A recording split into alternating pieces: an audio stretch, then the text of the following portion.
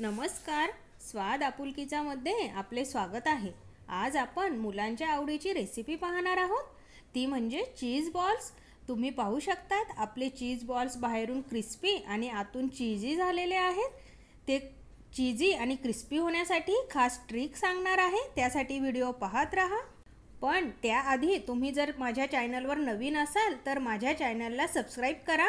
आणि bell आयकॉनवरही click करायला विसरू नका. चला तर पाहूया रेसिपी चीज बॉल बनवण्यासाठी मी इथे मीडियम साईजचे चार बटाटे उकडून स्मॅश करून घेतलेले आहेत. यात आपण बाइंडिंगसाठी दोन चमचे बेसन पीठ वापरणार आहोत.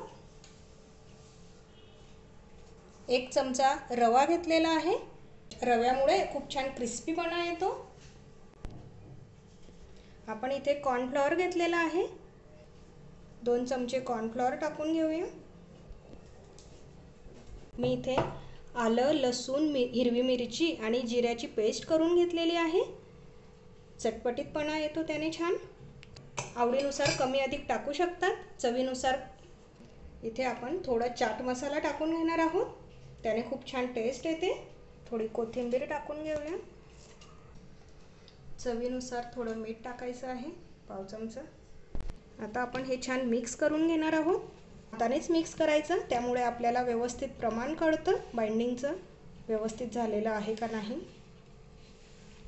जर गरज वाटली आपल्याला मिश्रणात तर आपण थोडा रवा ॲड करू किंवा बेसनपीठ काही ॲड करू शकता. या पद्धतीने आपण छान असा गोळा मळून घेतलेला आहे तेलाचा हात लावून.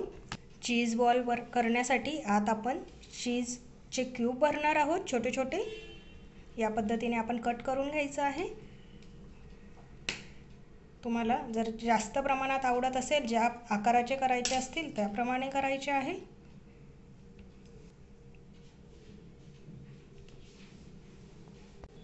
हाताला तेल लावून घेणार आहोत आणि छोटे छोटे बॉल करून घेणार आहोत.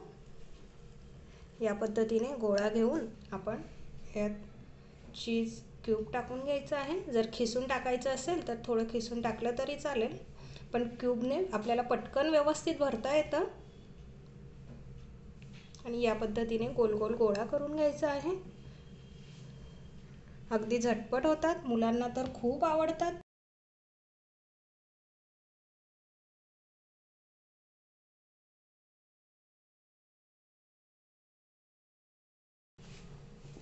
इथे आपण सगळे बॉल्स तयार करून घेतलेले आहे.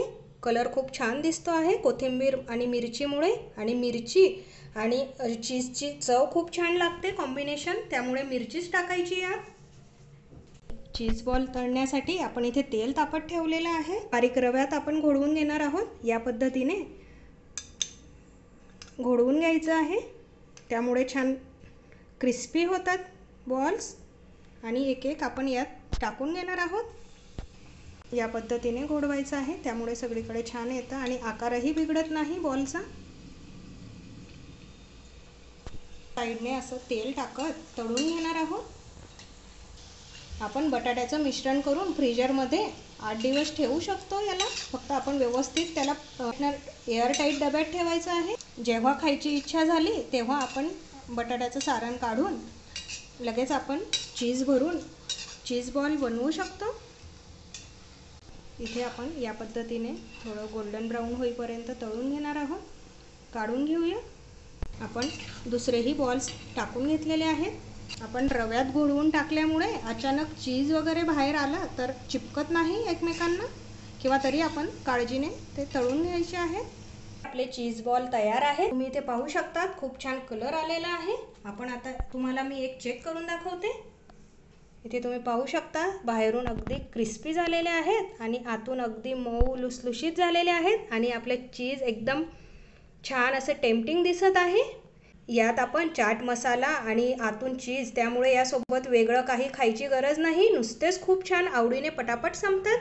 तुम्ही नक्की करून पहा. ही माझी रेसिपी आवडली असेल तर लाईक करा शेअर करा आणि अशाच नवीन नवीन रेसिपीज पाहण्यासाठी स्वाद आपुलकीच्या मराठी चॅनलला सबस्क्राईब करा. धन्यवाद!